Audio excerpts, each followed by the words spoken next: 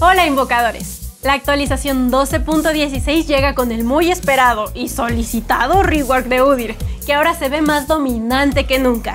Veremos algunos cambios y balances generales, conoceremos la temática Valquirias de Acero, valientes guerreros tecnológicos que defenderán la galaxia con sus poderosos exotrajes. Pasaremos a ver algunas de las obras que los artistas loleros nos compartieron estas dos semanas, para luego hablar de las noticias de la LLA, ya que viene la etapa más emocionante del año. Yo soy Cameollo y esto es Actualizando.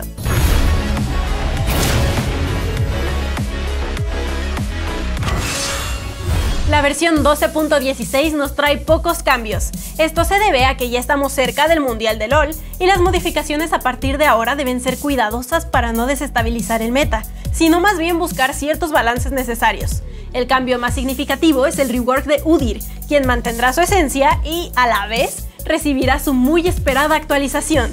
Empecemos hablando de las mejoras. Caitlyn sigue un paso detrás del resto de los tiradores debido a que aún le falta algo de daño.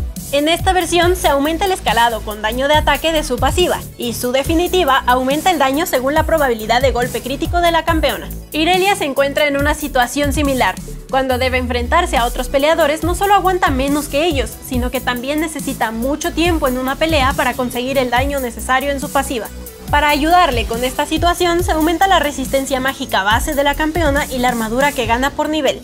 Cuando Jace pelea a distancia, tiene las herramientas necesarias para hacerle frente a los acarreadores rivales, pero en su modo melee su daño no es suficiente para afrontar los combates. Por esto es que ahora se aumenta el daño de su Q y E en modo de martillo. Kaisa tuvo hace poco un tiempo de gloria, en sus armados de poder de habilidad que se centraban en maxear la W e ir one-shoteando rivales. Luego, las debilitaciones que se le hicieron dejaron a Kaisa en una situación muy desfavorable. Para cambiar esto, se aumenta el daño al golpe de su pasiva y se aumenta el escalado con poder de habilidad de su Q y R. Malphite gasta demasiado maná con sus habilidades y de ellas depende por completo para poder tener peleas favorables en etapa de líneas. Para darle un empujoncito, se le reduce el enfriamiento de su pasiva y su W, para que así pueda tener mejores intercambios en línea. Tristana todavía tiene espacio para algunas mejoras en el carril inferior, que también potenciarán su capacidad de duelo en el carril central. En esta ocasión se aumenta la velocidad de ataque que le entrega su Q. Zoe es una campeona diseñada para eliminar de un combo preciso a los rivales, pero aunque los deje dormidos no consigue el daño suficiente para matar a ningún acarreador. Para ayudarla, ahora la W deja orbes en el piso para Zoe, aunque estos hayan muerto a manos de sus aliados, y además se aumenta el daño de su E. Seri es sin lugar a dudas la mejor tiradora que hay actualmente. El daño que puede realizar con el golpe crítico de su W, combinado al gran escalado que tiene con sus ataques básicos, la hacen un arma letal. Para balancearla, se reduce el escalado con daño de ataque de su Q y el escalado híbrido de su W. ¿Hay acaso un campeón más molesto para tener en contra que Yumi? Cuando se sube en un rival, es imposible de atrapar, y los bufos que otorga hacen inmatable a su aliado. Por eso, se debilita su E haciendo que tenga más enfriamiento y otorgue menos velocidad de movimiento. Poppy ha estado dominando la jungla últimamente. Tiene el potencial para limpiar tan rápido los campamentos que gana nivel muy rápido en comparación a sus pares. Por esto es que se reduce el daño que la Q le hace a los monstruos. Diana ha destacado principalmente con armados que le otorgan más durabilidad respecto a los que le ofrecen mucho poder de habilidad. Para balancear esto y que tenga que priorizar un poco más los objetos de AP, se reduce el daño base que realiza su pasiva. Los soportes encantadores siguen dominando el carril inferior, y en vez de debilitarlos, se opta por otro enfoque que le dé una mejora a los soportes de iniciación. Por esto es que se aumenta la duración de la pasiva de Manto del Ocaso, para hacer que los rivales reciban más daño durante el tiempo que son afectados por esta habilidad. Udir sigue teniendo sus cuatro posiciones, manteniendo esa esencia que a todos nos encanta, pero ahora renovada para que se vea y se sienta más increíble que nunca. Su pasiva es la clave para todo el estilo de juego del campeón. Cada vez que cambia de posición, sus próximos dos ataques devuelven el enfriamiento de todas las demás, así que debes mantenerte atacando para activar todo su potencial. Su Q le va a permitir ganar duelos uno versus uno, porque al estar peleando en contra de enemigos aislados, se potencia mucho el daño que realiza esta habilidad. La W debe usarse de forma sabia, porque no solo otorgará un escudo, sino que al activarla ofrecerá un boost de vida instantáneo que puede ser muy útil para escapar de situaciones peligrosas.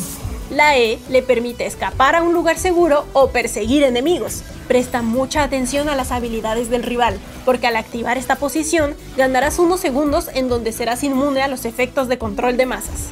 La R es la mejor habilidad para peleas en equipo.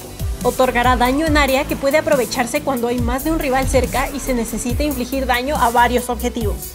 Los objetos para peleadores como Trinidad y Danza de la Muerte serán el mix perfecto de daño y aguante para ir corriendo por la grieta matando rivales por doquier.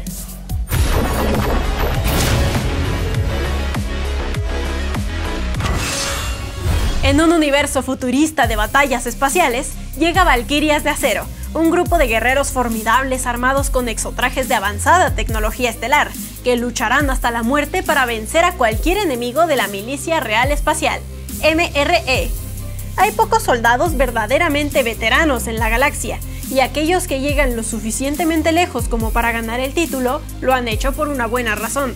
Como comandante del nuevo equipo de ataque Hyperion de la MRE, Camille es despiadada, calculadora y feroz, y aplica todo el poder de su traje, el Principado G03, sobre cualquier enemigo que tenga la mala suerte de terminar bajo su mira. A Camille le va perfecta esta temática, pues sus piernas robóticas acompañando su traje espacial la hacen ver más poderosa y letal que nunca. Como la comandante que es, tendrá a su disposición todo tipo de artilugios tecnológicos que la ayudarán a liderar a su equipo a la victoria. Lucian es el piloto estrella del Orion Z01, asignado a la misión inaugural del equipo de ataque Hyperion, recuperar el prototipo experimental Mariposa X01 de manos de su traidora ladrona Kaisa. Puede que no siempre esté de acuerdo con los métodos de la comandante Camille o con su moralidad, pero ambos saben que los exotrajes en las manos equivocadas significarían un desastre para la galaxia. Lucian llega a la grieta más letal que nunca con su poderoso exotraje espacial, impartiendo justicia en nombre de la MRE. Todos los efectos visuales y sonoros de este aspecto están mejorados para mostrar el increíble poder del Orion Z01. Nasus es el oficial de inteligencia del equipo de ataque Hyperion. Su exotraje, el Anubis S02, es un nuevo modelo de armadura que ofrece una mayor durabilidad, celdas que absorben energía y acceso a tecnología de análisis profundo para procesar información crítica para las misiones. Se ha puesto como meta ver triunfar a Hyperion, y su lealtad absoluta lo llevará a tomar cualquier acción necesaria para lograrla. Nasus usará todo el poder de la Nubis S02 sobre sus enemigos en la grieta, aplastándolos con su letal arma y acabando con cualquiera que ose desafiar a la MRE. Su voz cibernética y efectos luminosos lo hacen ver aún más potente y desafiante. Finalmente, solo nos queda hablar de Yana, quien es el único experimento exitoso de la MRE en su intento de crear androides capaces de pilotar un exotraje. Tal vez sea porque se ve increíblemente humana que la mayoría olvida que las ráfagas de viento que ella comanda son en realidad una flota de nanobots conectados directamente tanto a su traje, el Zephyro X03, como a su núcleo de procesamiento central. Yana será el soporte perfecto en las misiones del equipo de ataque Hyperion, repartiendo curaciones y escudos a sus aliados, mientras sus poderosos nanobots crearán tormentas de caos para los enemigos. Los efectos visuales y sonoros de este aspecto van increíbles para esta temática de tecnología espacial. Adicionalmente tendremos también la versión prestigiosa de Halo Cibernético, con la que Yana buscará romper el mundo de la moda, en el que irrumpirá gloriosamente en la alfombra roja de la alta tecnología. Este aspecto prestigioso estará disponible para comprarse con piezas del evento de Valkyrias de Acero, el cual no te puedes perder, pues todas las recompensas están increíbles. Además no olviden que todos los aspectos de UDIR ahora están renovados y mejorados para acompañar su rework. No se pueden perder ninguno porque quedaron increíbles.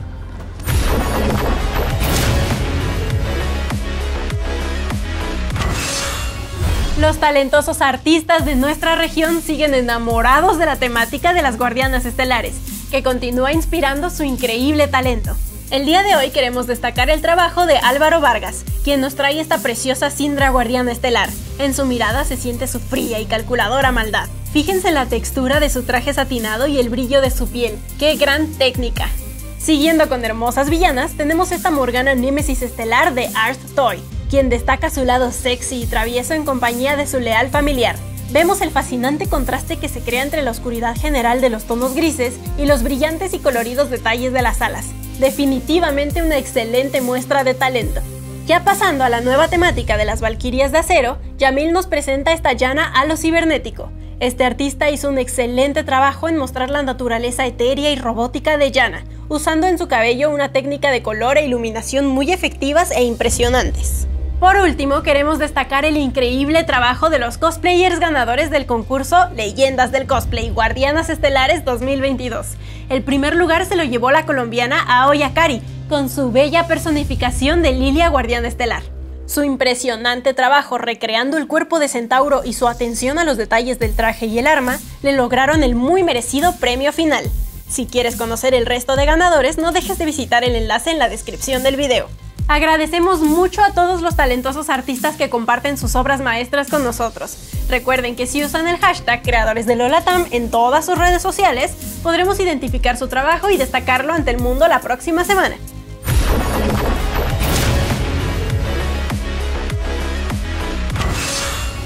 Y finalmente llegamos a la última sección de nuestro programa, donde hablaremos de los esports de la región latinoamericana, que están en la etapa más emocionante de todo el año.